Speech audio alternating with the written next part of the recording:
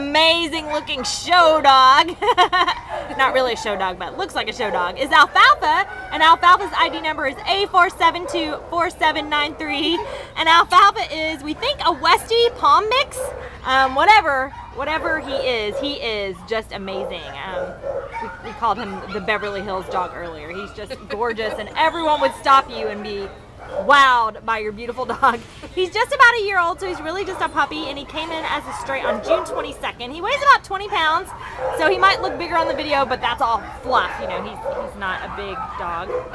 He just he's just but um, he is just a sweetheart. He's got some great energy. He's shown signs of being housebroken. He's good with other dogs. He could use a little bit of leash training. He's definitely a prancy, um, pretty walker, but but he pulls a little bit, and um, he's just a sweet, attentive dog. As you can see, he likes to give kisses and he loves people, and he's just gonna make a fabulous, fabulous companion in any situation. So come on down and meet the gorgeous Alfalfa today at the Baldwin Park Shelter. Look at that smile. You can take him home with you. Right, Alfalfa? Sweet, gorgeous boy.